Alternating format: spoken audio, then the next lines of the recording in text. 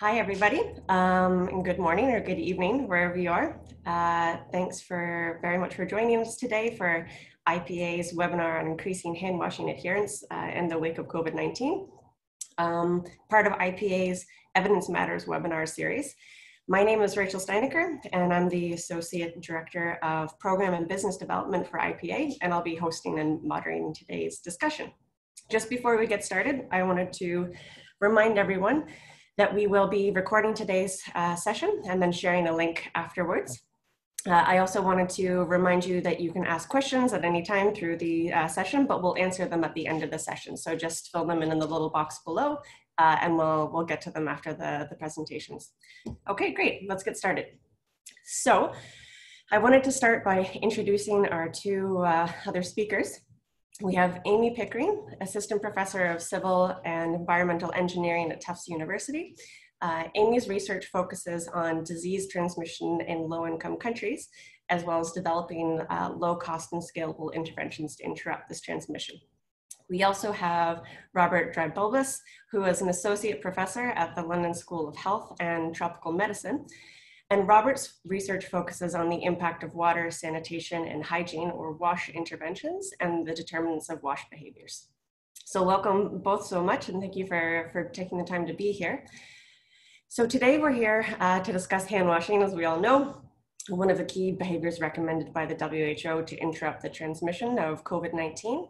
Um, but I'll start by taking us a little bit through IPA's approach to ensuring rigorous evidence is used to inform uh, programs and policies to improve the lives of those affected by poverty and some of the key barriers and enablers of hand washing in low income countries.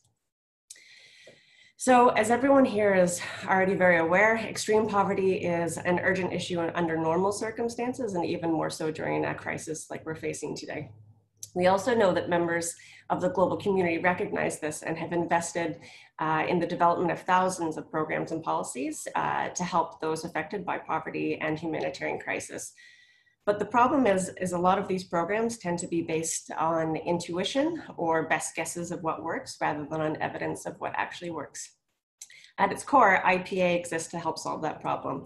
So we develop and conduct rigorous research on different strategies to reduce poverty and to figure out what actually works. We do this primarily through the randomized control trial, or the RCT, which is an intensive scientific methodology uh, considered the gold standard to measure the effectiveness of a program or a policy, um, and is also used in medical sciences to determine the effectiveness of a new treatment. But we also realize that no matter how quality our evidence is, um, they won't uh, affect change unless they're actionable and utilized by the government and organizations who are directly supporting low income communities. Because of this, IPA not only works to share, uh, to generate our evidence, but we also work to share our evidence strategically, both at the global level, like we're doing today in this webinar, um, but also at the local level in the 22 countries where we have permanent and long-term presence. Uh, so to date, we've worked with more than 600 researchers to equip more than 700 partners with evidence from over 900 evaluations that we've conducted around the world. And the beauty of our approach being rooted in a methodology, um, a research methodology, is it allows us to work across multiple sectors that underpin or overlay or can help mitigate poverty, including health, education, social protection, just to name a few.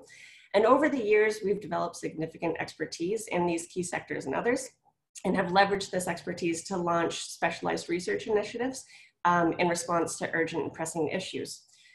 Most recently, uh, we've launched Recover, or Research for Effective COVID-19 Response. And through Recover, IPA is working to equip decision makers in vulnerable contexts with timely data, evidence, and analysis to allow them to uh, respond to the COVID-19 crisis in an evidence-based way. And we're currently doing this through three core avenues. Um, we've already launched a rapid response multi-country panel study globally uh, to inform government partners and other key partners on the health, economic, and social ramifications of the pandemic. Um, we're also rapidly developing more than 80 new individual research studies related to uh, COVID-19 response. And we're collaborating with dozens of governments and peer organizations to share information, resources, and timely data uh, to inform the global response to COVID-19. So providing timely information to those responded, responding to the COVID-19 crisis in low-income countries is especially urgent. Um, and this is because individuals in these countries may be hit harder by the pandemic, uh, both by being at higher risk of the immediate health impacts of the crisis, as well as the longer-term economic and social impacts. The World Bank recently projected uh, that the financial impact of COVID 19 may result in 24 million fewer people escaping poverty in 2020 in East Asia and the Pacific alone. So we're talking about massive impacts here. This is due, at least in part, to the fact that poverty creates barriers to one's ability to access critical resources and information, as well as comply with COVID 19 mitigation recommendations such as social distancing or hand washing. So policymakers around the world are currently faced with some difficult decisions about the most effective way to contain the outbreak, while also protecting vulnerable families that may face hunger due to um, the measures put in place uh, to mitigate the transmission of COVID-19. So navigating this crisis requires access to timely innovation and evidence, which is something that we're working to facilitate. So this mandate brings us back to the central purpose of this webinar, uh, to share evidence on the barriers and opportunities to increase hand washing in low income settings. So let's zoom back in for a minute on this.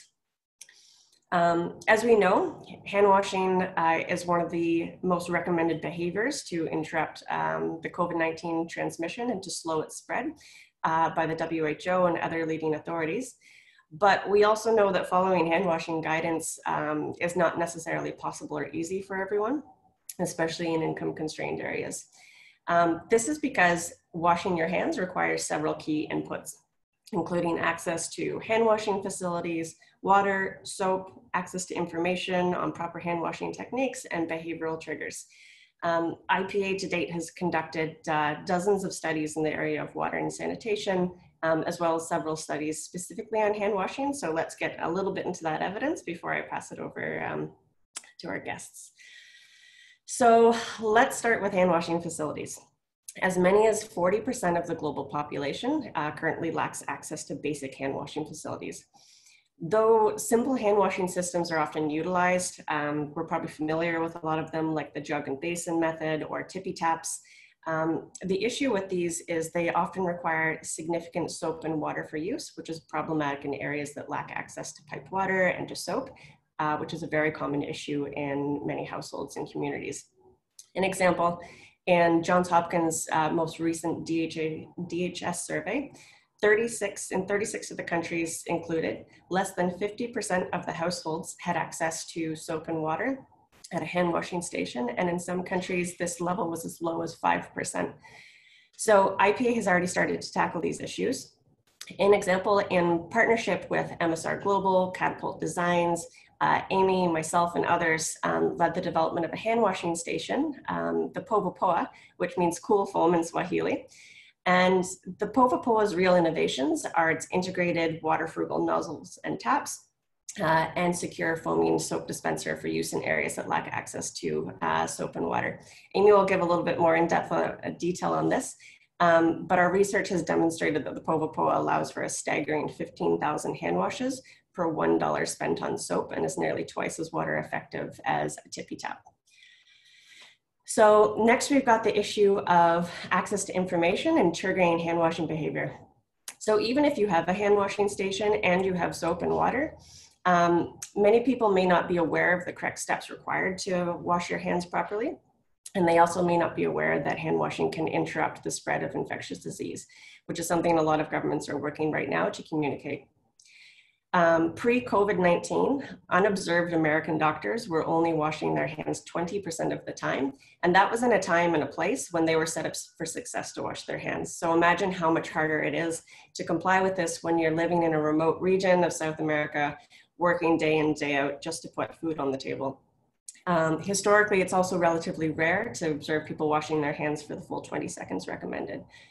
So IPA has also innovated in the field of information and behavioral interventions uh, to promote hand washing, including testing hand washing instruction and the use of disgust triggers and social norms to increase hand washing among school children.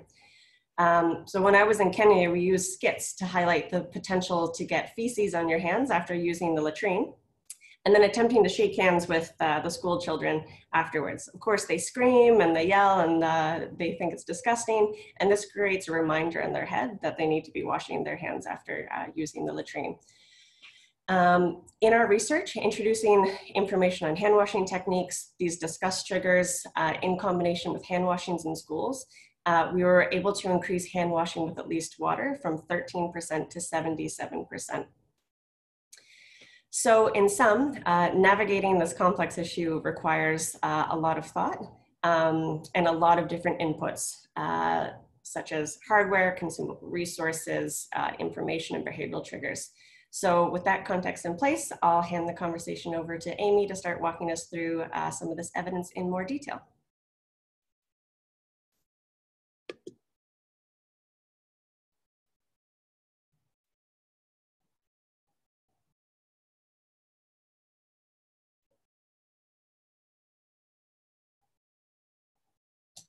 Hi, everyone. Thanks for joining. Um, thank you, Rachel. Um, so I'm going to be talking about hand hygiene in low resource settings in the context of COVID-19. So I just wanted to start out by talking about how respiratory viruses are transmitted because it provides the motivation for why hand hygiene is so important. So um, uh, respiratory viruses can be transmitted when an infected person coughs um, or sneezes and produces droplets that contain virus particles. And these droplets can be, um, then they can fall on surfaces or they can be inhaled by nearby people. Um, and that's how the virus can be transmitted from one person to another. Uh, so hands can play a role in transmission by um, an infected person shaking hands with somebody else or touching a surface that then somebody else touches. And um, so hand hygiene can interrupt transmission by um, preventing you from exposing yourself after you touch infected surfaces or contaminated surfaces. Um, and hand hygiene is also super important and effective when people that are infected um, practice hand hygiene. Um, so uh, studies have shown that when someone is sick and they're practicing hand hygiene, they're much, much less likely to transmit um, the virus to other people. And this is particularly important in the context of COVID-19 because we know that asymptomatic people can transmit the virus to others. So a little bit about SARS-CoV-2, which is the virus that actually causes COVID-19. So it's an envelope single-stranded RNA virus um, the thing about envelope viruses is that they're actually more fragile in the environment than non-envelope viruses, which is a little bit counterintuitive. But that's actually a good thing for this virus because it means that it doesn't persist for that long outside of the body. Um, we do know that it survives longer on hard surfaces such as steel, glass, and metal, so it can survive and be infective for two to three days on these surfaces compared to soft surfaces such as cloth, paper, or cardboard, where it typically persists for only a matter of hours. So this is important because when you think about when you're in public places and you're touching hard surfaces, those surfaces are going to be more likely um, to transmit the virus than softer surfaces. Um, it's also important to note that virus transfer efficiency is when, so when you take your hand and your skin and you're tucking, touching a hard surface, the transfer efficiency of virus particles to your skin from a hard surface is much higher than from non from porous or soft surfaces. So we also know that the virus survives a little bit longer in colder temperatures and low humidity conditions. Um, so weather definitely affects um, how long it survives in the environment. Uh, the good news is that it's susceptible to heat, um, UV light, ethanol, isopropanol, bleach, soap, and other disinfectants. So almost all disinfectants that are typically used for surface cleaning are effective against SARS-CoV-2, which is great. So the current hand hygiene methods that are recommended by the CDC and the WHO um, for disinfecting your hands from SARS-CoV-2 are hand washing with soap and water for at least 20 seconds. So the 20 seconds refers to the scrub step. So scrubbing your hands with a lathery soap for at least 20 seconds so that you can physically remove those virus particles from your hands. And also it allows the soap to um, basically destroy the virus. Um, Alcohol-based hand rubs are also very effective, and the key is to make sure that you're using one with at least 60% ethanol or 70% isopropanol. So in settings where neither of these options are available, um, another method that will work is to use a low concentration chlorine solution. So diluting bleach to um, a concentration of 0.05% chlorine will also work for um, hand is a hand hygiene agent. Um, and so you can rinse your hands with this solution as well. Okay, so as Rachel was alluding to, obviously there are a lot of infrastructure barriers to hand hygiene in low resource settings. Um, Rachel already mentioned these statistics, but over one fourth of the global population lacks access to a place in their home to wash their hands with soap and water. Um, and this, this percentage is even higher in low resource settings like in sub-Saharan Africa.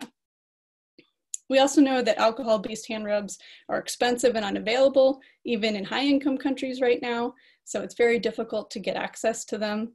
Um, and I think as this picture demonstrates, hand washing is awkward and time consuming when there is no piped water or a tap available. So you have to rinse, you have to wet your hands, you have to get soap, you have to lather, then you have to find some way to pour water all over your hands, which is very difficult to do on your own if you don't have someone helping you. So I'm going to talk a little bit about enabling infrastructure that can help make hand washing easier in settings that lack access to piped water. And the idea here is hand washing stations that provide convenient um, and easy to access and reliable access to soap and water. And I would say that in general, um, what's been found is that higher end, more durable, attractive commercial products are more likely to encourage hand washing and um, sustain hand washing behaviors over the long term. Um, and of course, whenever you're thinking about installing a hand washing station, you need to make sure you have a plan for refilling water and soap. I think Robert's gonna talk a little bit more about that. So I just want to go over some design features that are important for um, encouraging hand washing behavior. So uh, hand washing stations that are water conserving are really valuable because um, it's a lot of work to refill hand washing stations with water. And as we know, water is limited um, in low resource settings. And uh, hand washing stations that use a soap um, that is uh, that that that are so frugal as well um, are are also valuable. Uh, it's important to note that you want to have a hand washing station with, with parts that are easy to clean and to disinfect um, because biofilm formation can be possible inside of hand washing stations. You want to use durable materials, especially if a hand washing station is going to be outside in the elements, um, exposed to UV light. You want to make sure you're using plastics that are um, able to withstand um, exposure to the sun. Um, and in terms of location, it's been found that hand washing stations that are visible and hard to avoid are more likely to encourage hand washing behavior. And then there's two things I wanted to mention that are kind of specific to the current pandemic.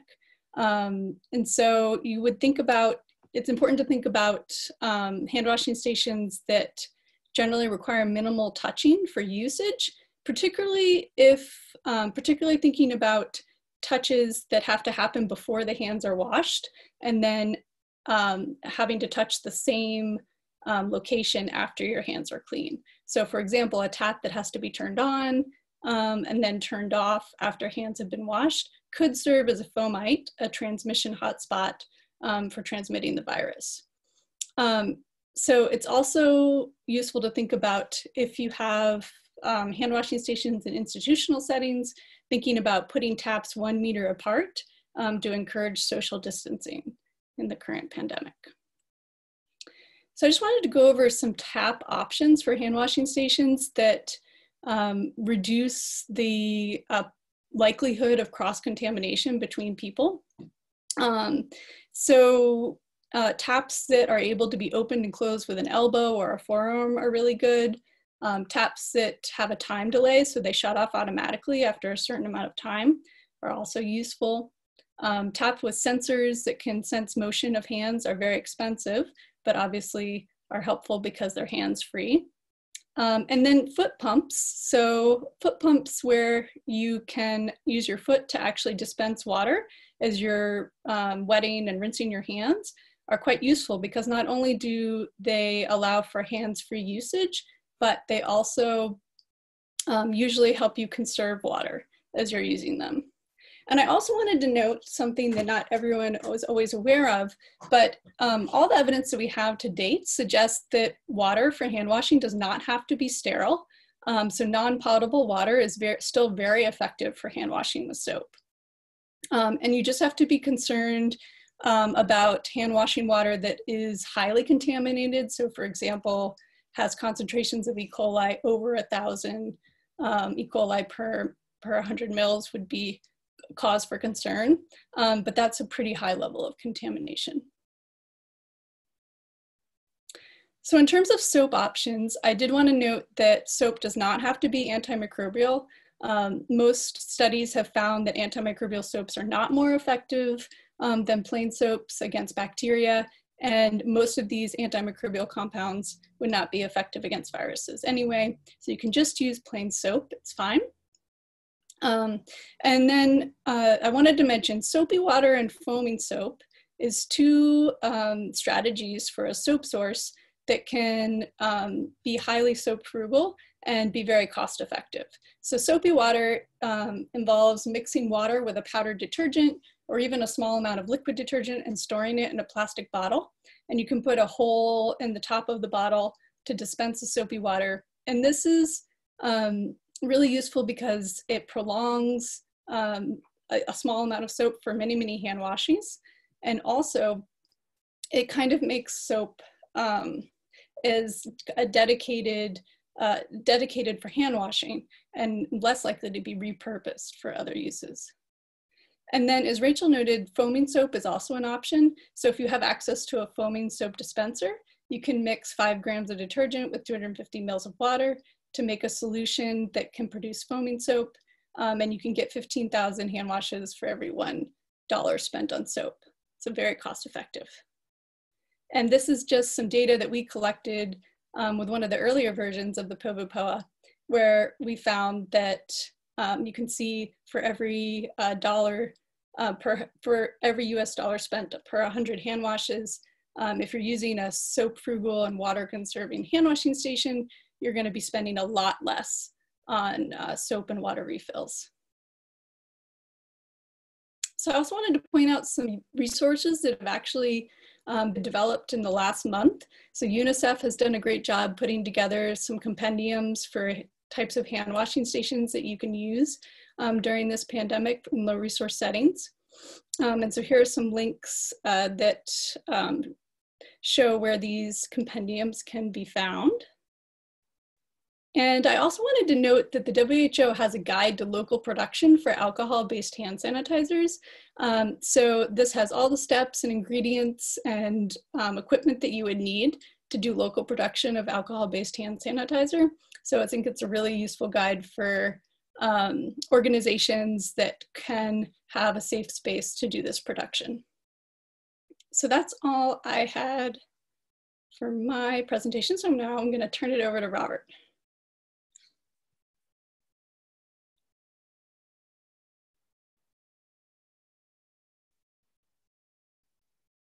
Uh, thanks, Amy. Uh, sorry, I'm just uh, struggling with the technology here for a second. Um, so,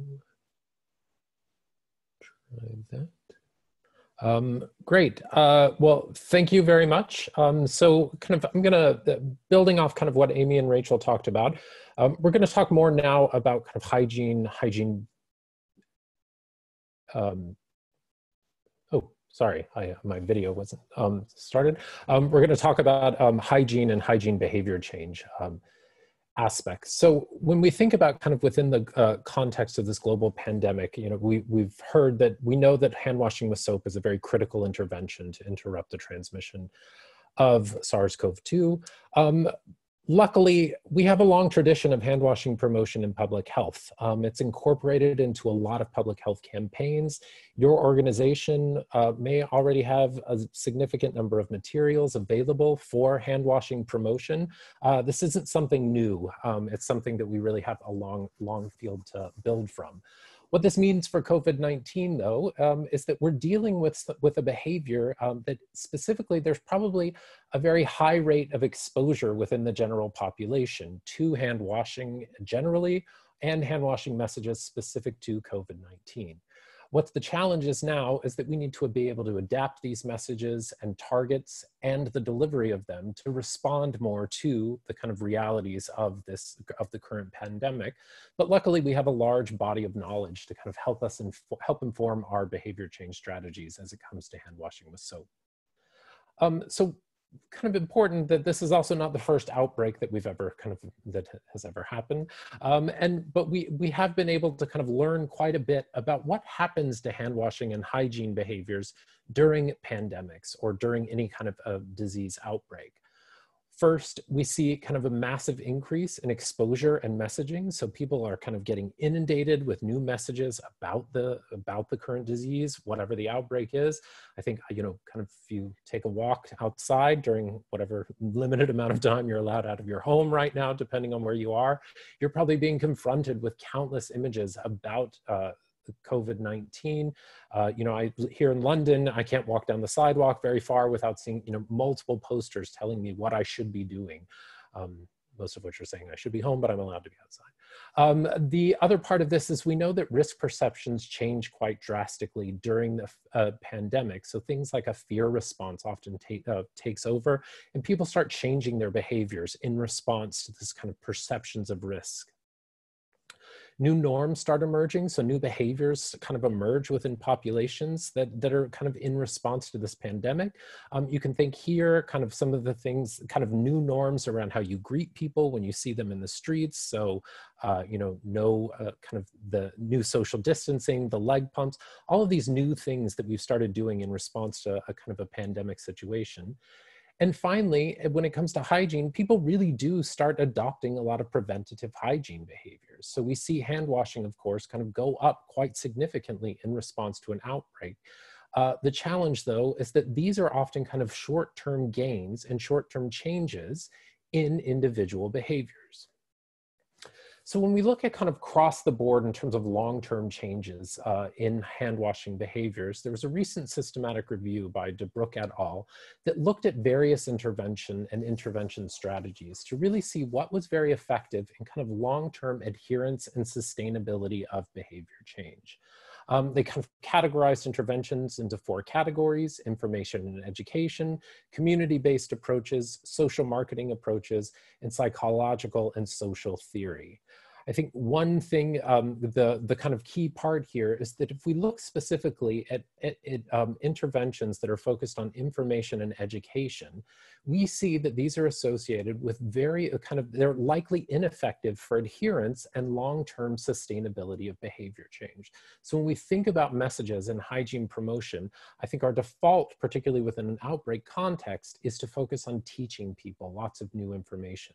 But this is ultimately kind of shown to be ineffective in the long term in terms of sustaining behavior change some key things to think about kind of for COVID-19 when it comes to the key moments and how we need to be kind of approaching um, behavior change. Our traditional promotion of hand washing over the past kind of several decades has really focused in on the transmission of enteric pathogens um, and, and key moments that are associated with the, with the prevention of diarrhea. So before food, before feeding a child, after using a toilet, and after clean, uh, cleaning a child or changing diapers.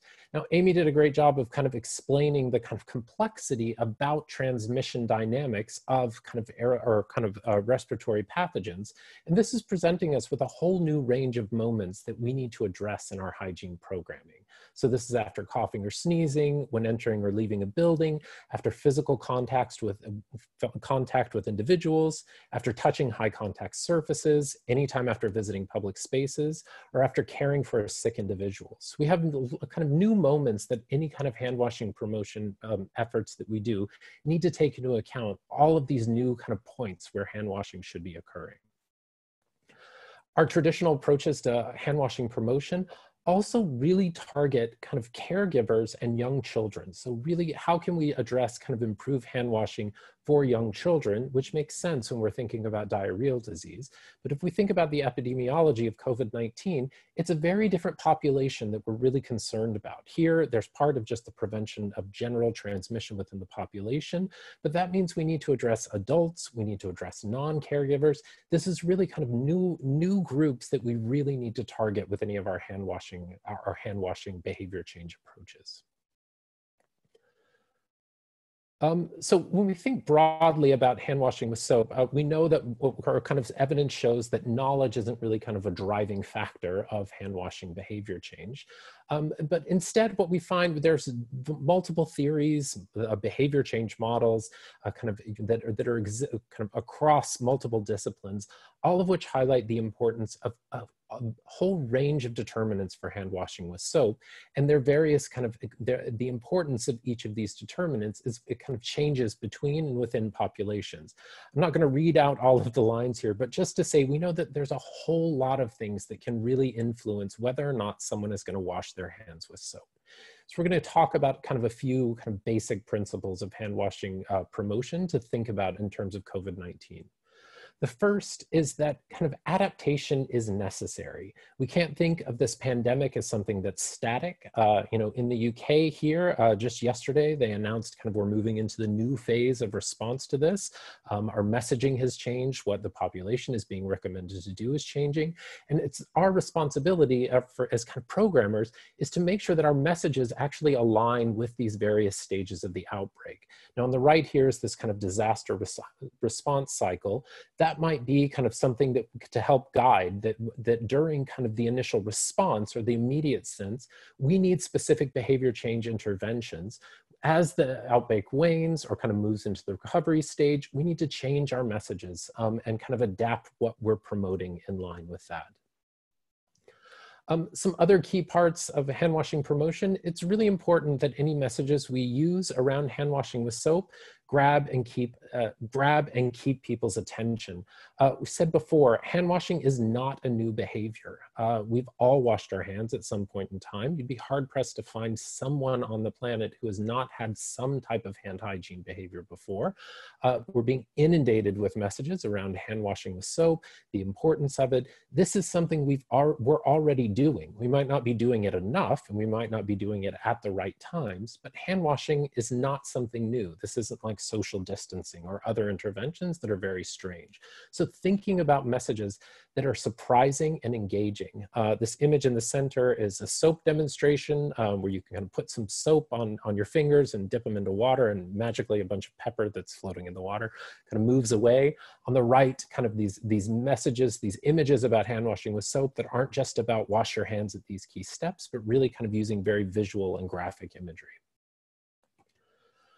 Another part to think about with hand washing promotion is that there's really no one size fits all approach here. Um, what we really need to do is define our target groups and identify the appropriate touch points for them.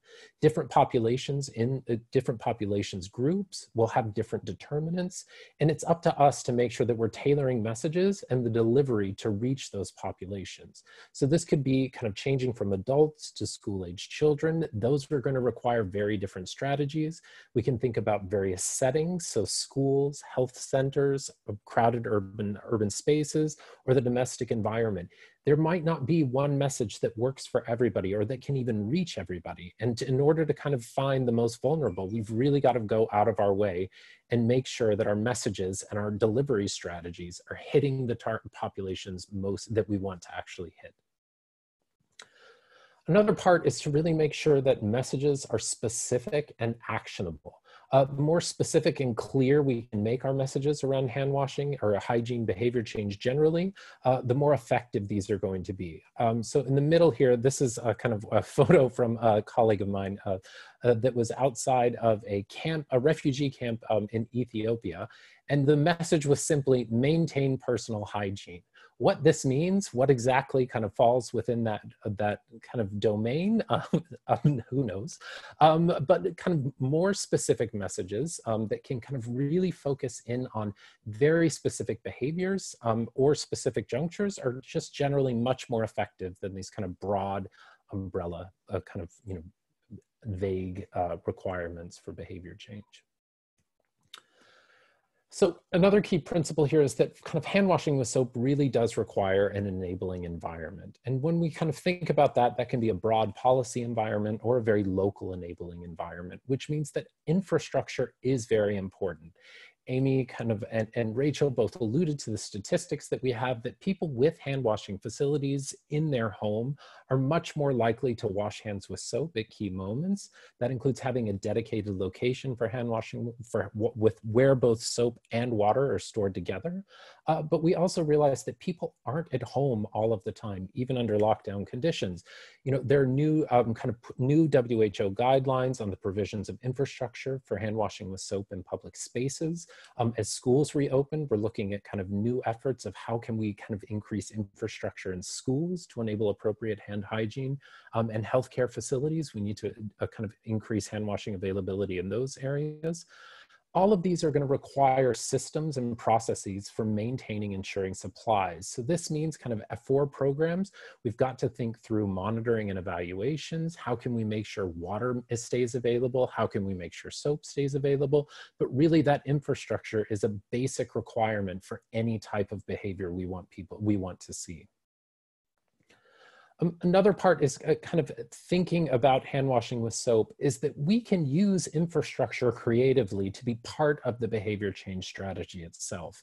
Um, we kind of refer to this often as cues, reminders, or triggers, and they've proven to be very, very effective at increasing hand washing behaviors if used appropriately. Um, so some of the images here, this was a study we did using kind of just environmental nudges. Um, so these kind of simple iconography near uh, toilets uh, in Bangladesh that were associated with large increases in hand washing with soap among school-age children.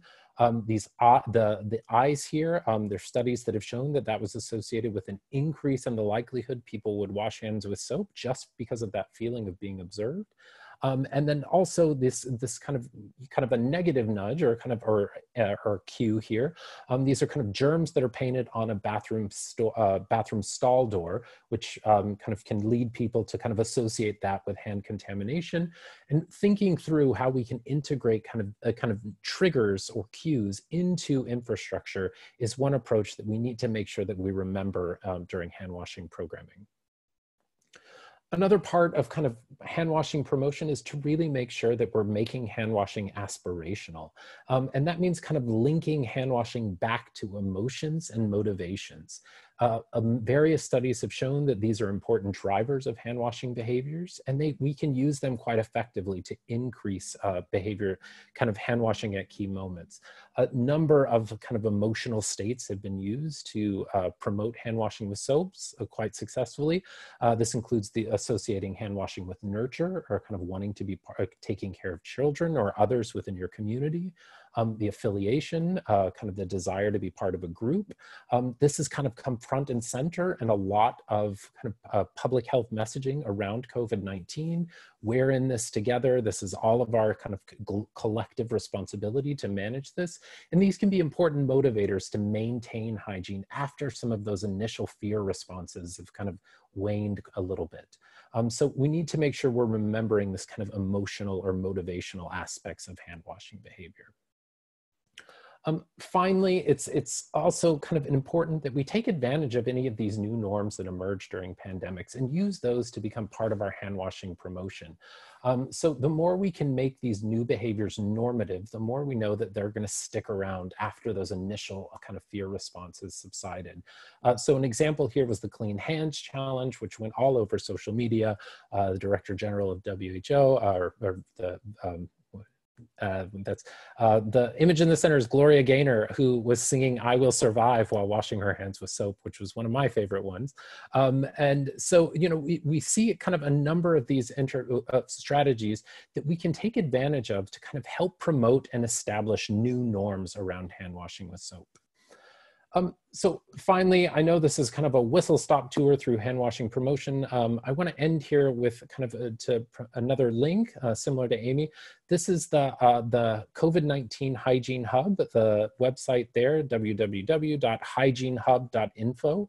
Um, this is an initiative that is recently launched. It's housed here at uh, the London School of Hygiene and Tropical Medicine, but we have a broad pool of global experts from all over the map who are kind of uh, engaged with this initiative.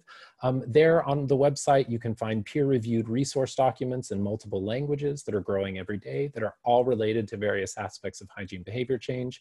Uh, we provide real-time support through a chat function um, in English, French, Spanish, and Arabic. Um, we're inviting organizations to share information about their own research projects or, um, or, or, their own interventions, and we can help connect you with other organizations. Um, and finally, we also offer an opportunity for kind of sustained dedicated support from this global panel of technical and creative experts um, if necessary and if requested. So uh, please go to the website. If you're running a program, please share that information. Um, we're more than happy to kind of hear from you and, and, and make sure that any learnings that you're providing can be disseminated broadly. So I'll stop.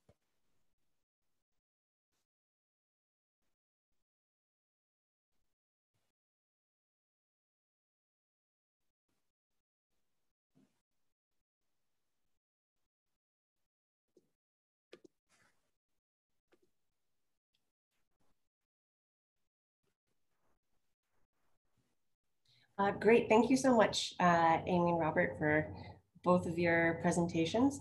Um, I think that they really helped to add a lot of uh, context um, to the discussion and understanding of what works and what doesn't work to promote hand washing uh, currently during this pandemic. So now it's time for everybody's favorite part, uh, to put you on the spot and share some of the many questions that have come up from our viewers uh, during this webinar. So I think I'll start with a two-parter, uh, which is I'm sure at the top of many people's minds, which is how can we best support communities who don't have access to um, safe and clean water um, to wash their hands? And how can this information and the resources we've discussed today um, reach individuals who are living in low income areas or remote areas when there's uh, ongoing lockdown in many of these uh, places?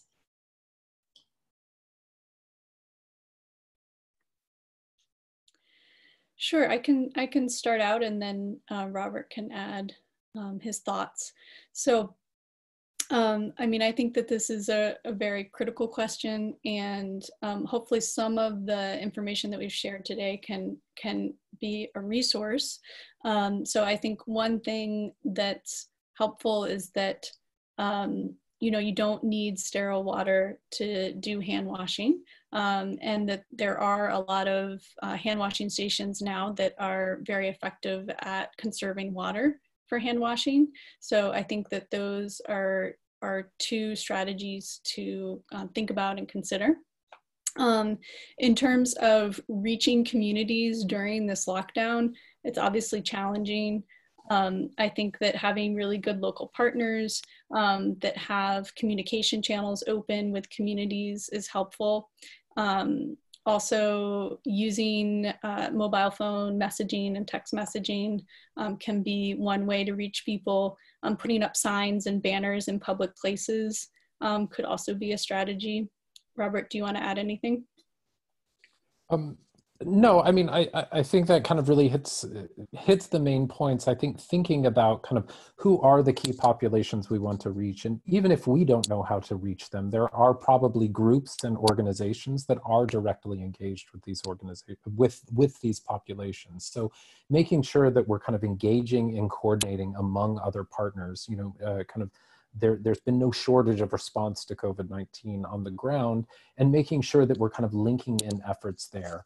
Um, and, and, you know, really kind of thinking again, kind of back to this idea, there's really no one size fits all approach. What might be effective at reaching one segment of the population may not reach another. You may need to think about kind of various age groups for younger populations relying more on social media or internet, whereas older populations that might require kind of some of our more traditional approaches to behavior change. So loudspeakers or public banners or things like that. So being very kind of creative and thinking through how we reach them is going to require kind of engagement on multiple fronts.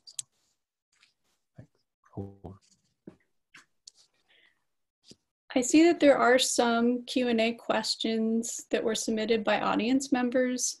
Um, Rachel, would you like us to take those now? I could. Yeah, and I can, if any stand out to you that you immediately want to address, certainly go for it, or I can uh, highlight some of the, the ones that have uh, come in thus far. Yeah, so there was a question about um, is there a risk that people might get sick if they drink the chlorine based water aimed at hand washing? Um, yes, uh, so very important to label hand washing stations um, for hand washing purposes and not for drinking water. So um, there are, you know, images that you could use to to indicate that the water source is not for for drinking water, um, and particularly if it's a 0.05% chlorine solution, very unsafe to drink. So um, definitely you would want to label it to make sure that people understand what what it's to be used for. Um, there mm-hmm. was also a question about um, kind of the cost of soapy water versus foaming soap. So Rachel and I had mentioned that we've calculated in Kenya that foaming soap, um, for every $1 you spend on soap, you can get over 10,000 hand washes. Um, I don't know the exact numbers for soapy water, but it's also very inexpensive for many, many hand washes. Um, it's it's not going to be the exact exactly the same because foaming soap does actually um, you can even you can use even less soap for hand washing with foaming soap than than soapy water because of the foaming aspect of it but soapy water is obviously very cost effective and a great option. Um, so there was also a question about I'm just, I'm just, I'm just going through all of them, Robert. I don't know if you want to jump in. No, keep going. uh, I think these are great audience questions. Um, so uh, one person asked, is there data or modeling about the relative importance of hand contact versus droplets and aerosols um, as routes of uh, COVID-19 transmission? Um, there's not to my knowledge at the moment. I know that a lot of people are working on modeling right now, um, but there's not a lot of data yet on what are the most important transmission pathways. Um, we do know that large droplets um, expelled during coughs and sneezes are definitely an important transmission pathway. There's more debate about the importance of aerosols, which are much tinier um, droplets that can travel longer distances. Um, is a route of transmission and can be inhaled by people that are further away. Um, and then, you know, the, what's the, what's also, how do those compare to transmission by touching contaminated surfaces? Um, our group is actually doing some work right now where we're sampling high touch surfaces in public locations to try to understand what's the prevalence and concentration of the virus um, on these surfaces in public locations like crosswalk buttons, um, trash can handles, door handles, things like that. So once we have more data on that, I think that these models will be possible. Um, there was also a question about should we, is there a risk of putting too much attention on hand hygiene versus mask wearing? Um, so mask wearing was outside of the scope of this webinar today, but it's obviously very important. Um, and um, I don't think we're we're not in any place to say which one is more important, hand hygiene versus mask wearing. They're most they're both very important. Um, but but there is a lot more data on the effectiveness of hand hygiene in preventing um, transmission of respiratory illnesses. Um, just because mask wearing has not been as com as as common of an infection prevention measure, um, but I think we're going to have a lot more data on that soon. And, and just to build on that, I think, you know, if, if we think about kind of some of these behaviors, you know, that thinking that, you know, if, if there's there's certain context in which mask wearing or certain countries or, or certain settings and you know primarily kind of you know in East Asia, mask wearing is not an uncommon behavior. Uh, whereas if you go somewhere here, if I go outside, I'm still surprised when I do see someone wearing a mask. So thinking about kind of each of these behaviors are kind of given their you know equal importance, there's a different kind of need in terms of what the behavior change strategy actually is hand washing is something that kind of you know at least in high income settings you know we we surround ourselves with with water there's soap in most places. We really the importance there is really kind of triggering and enabling that behavior. Um, whereas something like mask or social distancing this is something that we're really trying to encourage a very new behavior and need to approach kind of that kind of uh, kind of in that context I think kind of understanding each of these behaviors within their specific context and wanting to kind of kind of at least weigh kind of how new this behavior is, how how likely it is, and how able a population is to actually complete that behavior can really help inform kind of our trade-offs between focusing on specific kind of strategies within that um, one population. Um, but uh, you know, and and you know, I, you know, I know I kind of as, as a behavior change kind of a person, uh, we often kind of put a lot of focus on things like formative research and and that type of stuff, which is often quite difficult to do within the context of, uh, of you know lockdown conditions without actually endangering the populations we're trying to reach. But there are a host of creative ways that people are going out doing a lot of this very basic formative research. So online surveys, telephone surveys in conditions where it's still safe to leave the home. We've seen people arranging focus groups where everyone is six, where, where everyone is two meters apart in these kind of drawn out chalk circles. So there's still interesting ways that we can do some of this basic formative research. And for any behavior change going, uh, we're doing, even like a little bit of data is going to be better than no data, but also kind of drawing on the wealth of data that we already have about understanding behavior as well. No, absolutely. Um, it's great. It's great to see the flood of questions coming in as well. Um, another question that came up from the audience was, are, can you talk a little bit about whether there are certain subgroups that the interventions or strategies we've talked about work best for? Um, and lessons learned on what hasn't worked. Uh, so what shouldn't we be doing in uh, our response to the COVID-19 outbreak?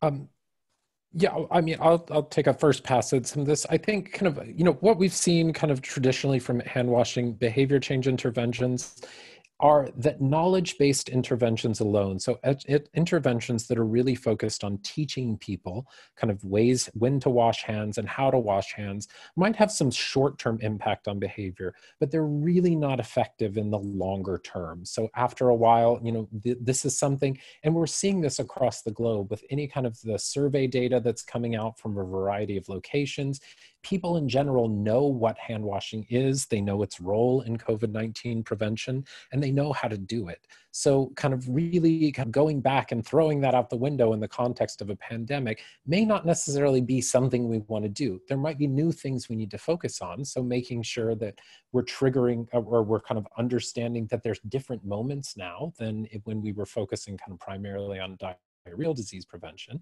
Um, you know, kind of new things around respiratory hygiene, the kind of coughing and sneezing into your elbow.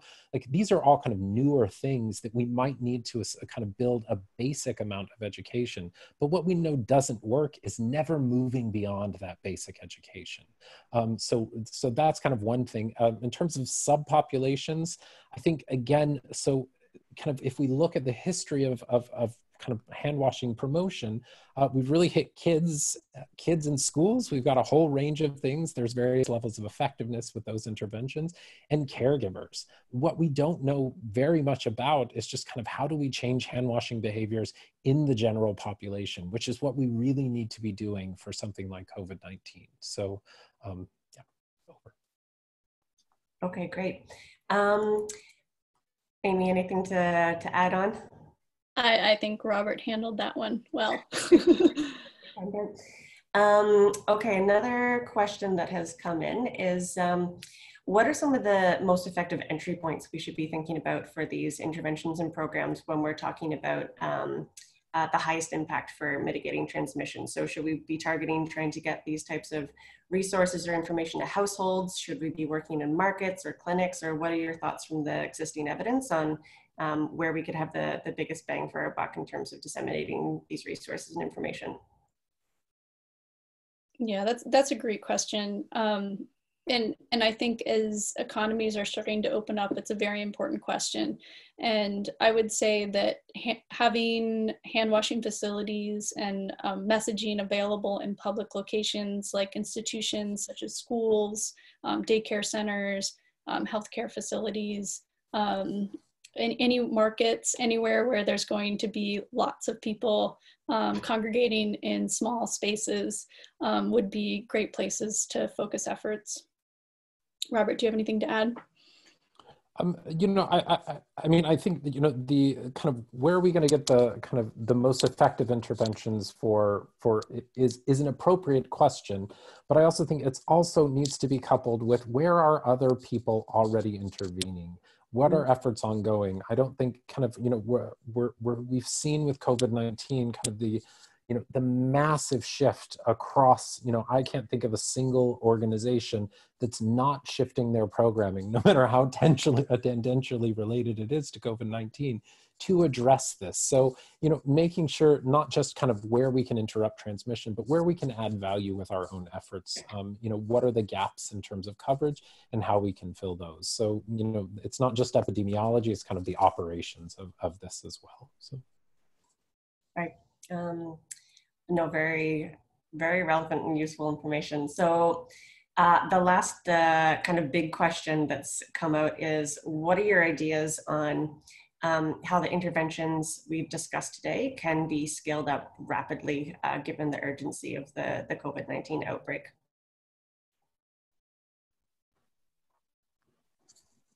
Robert, do you want to take that one first? um, sorry, I was um, the um, yeah, I mean, I, you started. Sorry. um, yeah, I think scale up is uh, is a, it's a it's a tough question. Um, I think that it's it's very helpful to think about if you can partnering with government institutions um, or organizations that have um, a broad reach. Um, but I also think it, you need to be careful about what you're scaling up um, and how. So you want you want to be definitely sure that um, you've got something that that definitely needs to be scaled up and should be scaled up. Yeah, I, I, yeah, I mean, I, I definitely agree. Kind of making sure that what we're scaling is is is appropriate and effective, um, and and and kind of thinking through the kind of key pathways to scale. And again, I think a lot of this comes back to kind of you know coordination, working with other actors. You know, there's not just kind of one. You know, it, it's no one indi- individual or one organization that's going to launch something at scale. It's going to require kind of concerted effort across various organizations, and making sure that we're building on an evidence base we know what works, or we have kind of strong evidence that something works, and using that primarily coordinating through uh, kind of through go uh, government bodies or in-country coordinating mechanisms. So things like the Global WASH Cluster exist within each country to really, or kind of within many countries, to serve as a coordinating organization across or across many many different bodies that are involved in WASH response, specifically to outbreaks. So kind of finding kind of the right pathways to this is really critical. Um, I'm seeing a lot of questions, Rachel, on um, if we're going to be able to share the slides from today. Do you have a, an answer for how we can do that efficiently? Um, that's actually a great segue. So I know we have a lot more questions coming in, but we are at the end of the hour. So um, uh, we'll be able to share this information in two avenues. So first, we'll share the link uh, for the recording of the webinar. Um, so all of you can go through it and review it and also uh, share it with the networks um, you might have that are also working to um, address the, the COVID-19 response. Um, and second, we also know from our very long list of attendees, which is great, we have a lot of people uh, watching right now who are either implementing WASH programs um, in low income countries, researching WASH or supporting this type of work.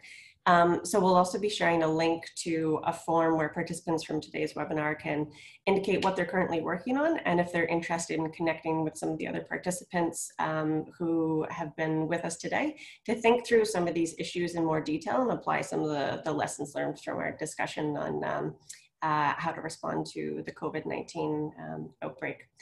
So um, in closing, I just, are there any kind of final remarks from uh, Amy or Robert from yourselves? Um, well, thank you both so much for joining today's webinar and thank you all for who are tuning in and watching right now. Um, I think it's been a very helpful discussion, uh, a lot of very relevant information that hopefully you can utilize in, in your own responses um, and taking away a lot of insights and understanding on how to tackle the issue of hand washing in low income countries.